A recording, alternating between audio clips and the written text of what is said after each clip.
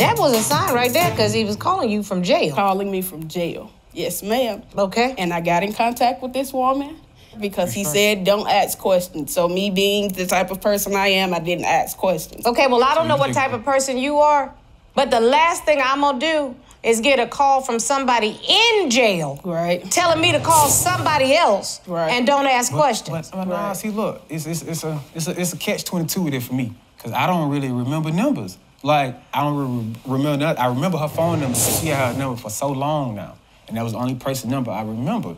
However, at the time of us being in the situation that we're in, we kept going through so much. It was just like, you know what? I'm gonna take a step back. And at the time of me being with just her, when I'm with her, I'm with her. But when I'm not with her, you're free to do whatever you want to do. That's your life. But even still, he told me that they were just friends. yeah, we always just friends. Like And why when not he have got fun? out, I found out it was more than that. Why? Because I saw another picture after I put my detective hat back on. Found another picture on feel like Facebook of him kissing this woman's stomach. The like same woman he had me get in contact with when he was in jail. I find pictures of him kissing her and her stomach. Wow. And I'm like, feel like- ah.